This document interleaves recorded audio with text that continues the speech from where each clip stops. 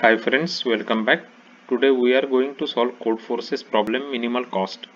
So before we look into the problem details and uh, examples and solution, I want to mention that my channel is focused on helping people uh, who are preparing for coding interviews, Java interviews and learning Java concepts. On my channel there are more than 200 solved coding examples which were taken from big tech companies interviews such as uh, Microsoft, Apple, Amazon, Facebook, Google, uh, and many other big companies. And those uh, coding examples constitute important varieties such as dynamic programming, binary search uh, tree related coding problems, graph related coding questions, DFS, BFS, matrix related coding interview questions, as well as linked list and string related different coding problems. So if you are preparing for Java interviews or coding interviews, please subscribe to this channel now. This channel can definitely help you in your Java and coding interview preparation. So let's look into this uh, problem minimal cost. So um, there is a graph of n rows and 10 raised to 6 plus 2 columns where rows are numbered from 1 to n and columns are numbered from 0 to 10 raised to 6 plus 1 so they have given us a sample how the you know the graph look like basically right? It's a very big graph. So we have to start from this location with a row 1 and column 0 and we have to reach on this location right where row is n and column is 10 raised to 6 plus 1 right? So there are couple of uh, blockers here right some where we cannot move through so let's go through the problem statement and we'll look more details. So let's denote the node of uh, row i and column j by ij. Initially for each i and ith row has exactly one obstacle at node i comma ai. You want to move some obstacles so that you can reach node n comma 10 raised to 6 plus 1 which is this node right this is the destination node so what they are saying is uh, there will be couple of obstacles uh, so whenever they move uh, if it is blocking us to move from this uh, source node to destination node then we have to move those obstacles. And there is some cost associated with the movements right? So let's go through it. So um, moving an obstacle to adjacent by each uh, free nodes cost u or v coins as below. So if there is an obstacle in the node ij, you can use u coins to move it to i minus 1j or i plus 1j, right?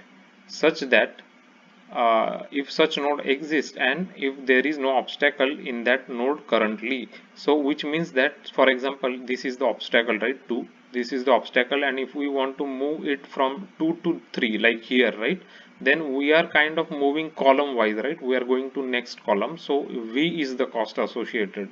V coins we have to pay if we are moving uh, let's say we we have this obstacle and we are taking this obstacle from here to here then it is a row wise movement right? Right? Row wise movement. So in that case we have to pay u cents basically. U is the cost for that right? So there is a row wise movement or column wise movement. So uh, as i as i explained it uh, if it is a column wise we will pay u coins. If it is a row wise movement uh, then we will pay v coins right? So um, so let's go forward. So um, note that you can't move obstacle outside the grid. For example you can't move obstacle from 1 1 to 0 1 so um, it should not go basically outside of the grid right? So that's what they are saying um, so input is the number that is three test cases are given and this 234 here. So let's see what 234 means. So the first line of each test case contains three integers n u and v right? So n is total numbers of rows in the graph and uh, u and v is number of coins needed to move vertically and horizontally right? U is vertical movement and uh, v is horizontal movement so uh, v is horizontal movement. As you can see you are moving horizontally right? And when you are moving vertically then it is v then it is u basically right? U is the cost. So that's what they are saying. So that is given to us. Number of uh, rows 2 is given let's say here for the first example. 3 is u and 4 is v basically right? That is the cost. And the second line of each test case contains n integers where ai represents that the obstacle at the ith row is in the i comma ai so 2 comma 2 so this is also given. So where the obstacle is located is given right? For example every uh, this first row second column and second row second column. So that is given to us right? This one. 2 comma 2 means basically first row second column second row second column. So um, as you can see this is given to us. So um, let's just take this first example which is this example right over here. So this is the first example which is given to us right? So um, uh, let me just go here quickly. So this is the first example that we have been given right? So uh, so if we start let, let me just take a color quickly. So okay so if we start from the starting node this is our starting node and this is where we want to go right? So if we start we are getting blocked by these two obstacles are there right? So one way uh, for us to move is I can bring this obstacle from here to here and from here to here right? So one uh, uh, this is a v right? And this is u. So I have to pay if I do u plus v cost right? U plus v cost I have to pay right so we took this obstacle here basically right? As I showed you here. So obstacle will go here. So now after that we can pass through like right? We can pass through like this and I can go here. Or I can go from here also. So basically we have to move that obstacle right? So this is one way of moving the obstacle and reach the uh, target node or the other way is we can just move this obstacle here right? So obstacle used to be here so we can move it here and then here. So it is the cost is 2 into v right? 2 into v is the cost for that right? So we have two options basically. Either we can do u plus v or we can do 2 into v. So whatever cost is minimum we will we will do that right? So in this case let's just look what u and v is given to us. So u and v is given to us. U is 3 v is 4 right? So let's just take u u is 3 u is 3 and v is 4 right? V is 4 so if I say u plus v it is 7 right in this case and 2 into v is equal to 8 2 into 4 is 8 so uh, we will take 7 right? Obviously because it is less than uh, 8 right?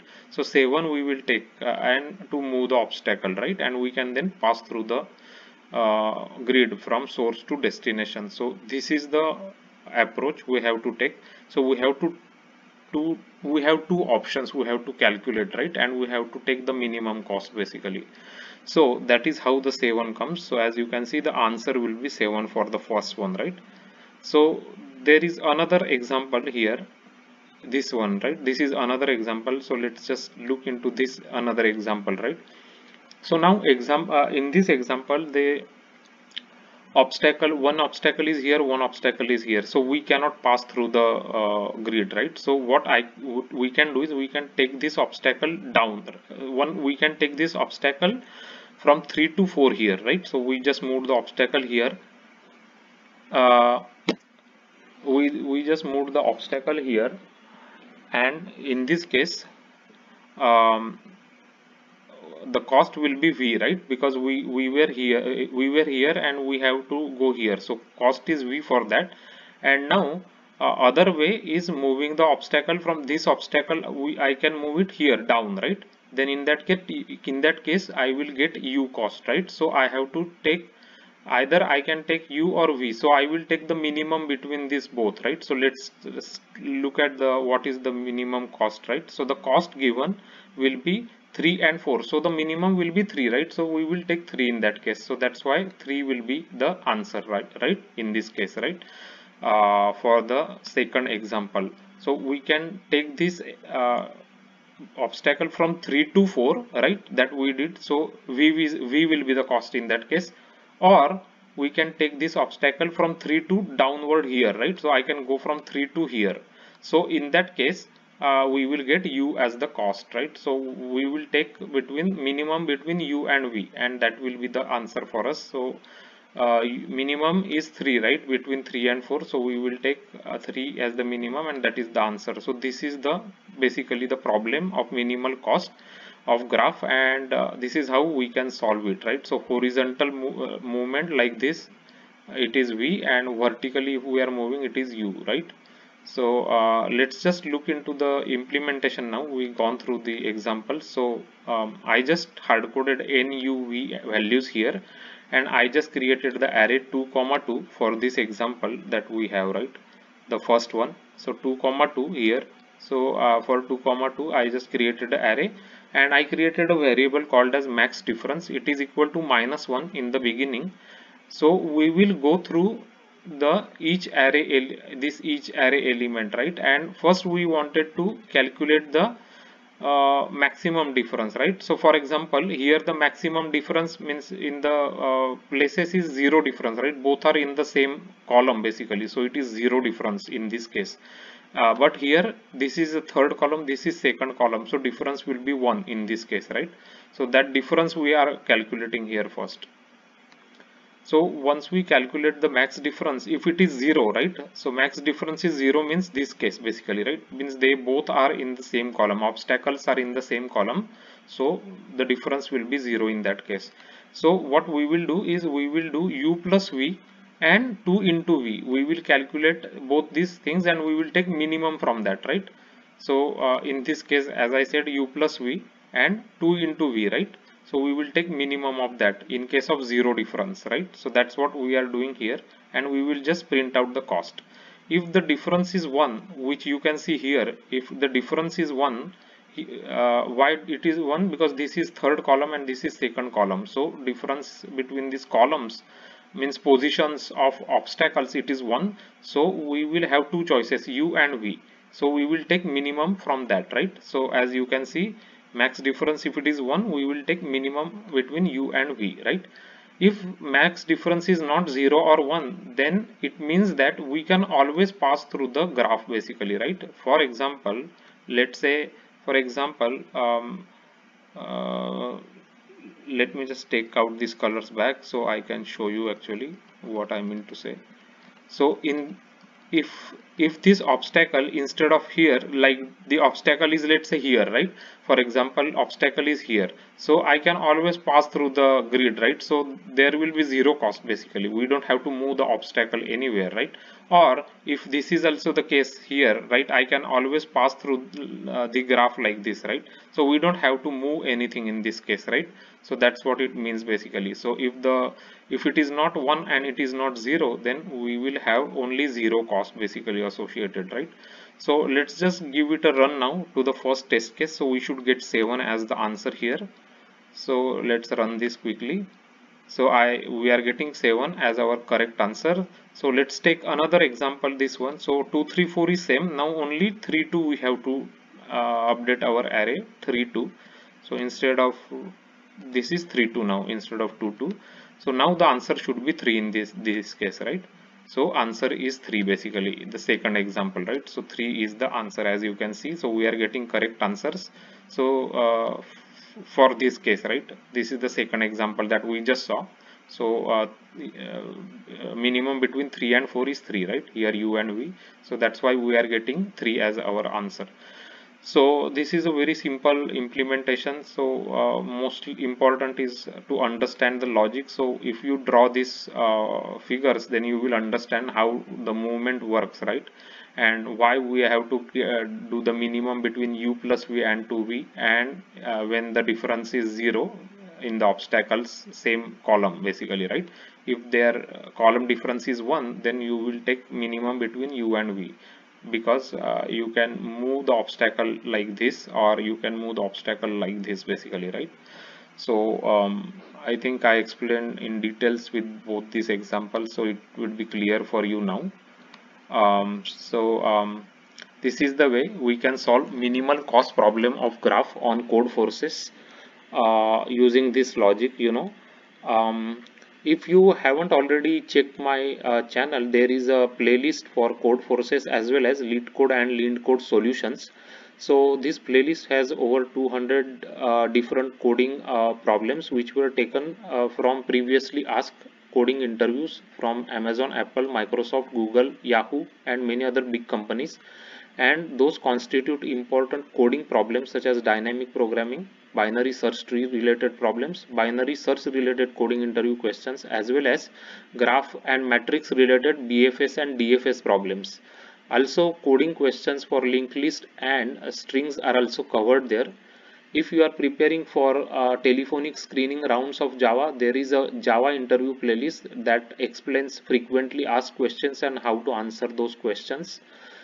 Um, if you like this video if you like the way it is explained with examples and java code then please hit subscribe and like it. Your subscription is really important for the channel because that is the way the video can reach to more people uh, who are preparing for java and coding interviews they can also go through these videos and solve examples and understand how to approach different coding uh, problems what data structures to use to solve different varieties of problems and how to build the logic uh, mainly to solve different coding uh, problems you know. So because the main goal of this channel is to help people uh, you know in their coding interviews and in their telephonic java interviews um, so please subscribe to the channel. If you like this video please share this video with your friends and colleagues. And thanks for watching this video